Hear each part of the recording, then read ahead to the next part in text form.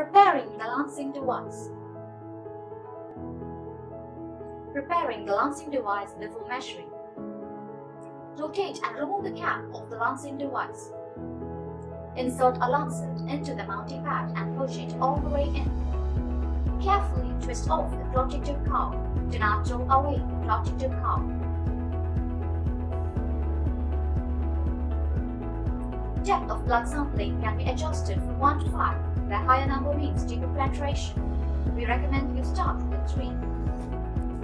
Cock the lancing device by holding the adjustable tip with one hand and pulling all the sleeve with the other hand until the device clicks. Wash hands in sample site using soap and warm water. Rinse completely dry before testing. Preparing the meter and test strip.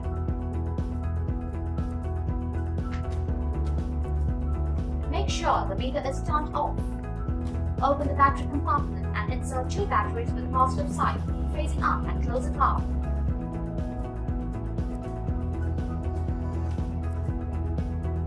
Insert a test strip with the contact valves facing upwards into the meter's test strip pull gently until the meter beeps. The ready symbol will appear on the screen.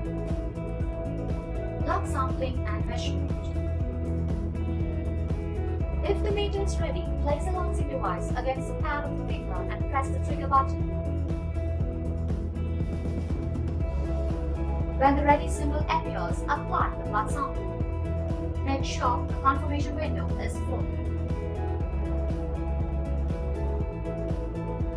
If the confirmation window is not filled before the meter starts counting down, error 4 or a wrong result may appear on the screen.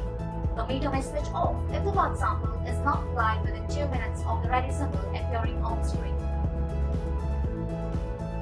If the meter switches off, either remove the strip and reinsert it, or just press the S button while the strip is inserted.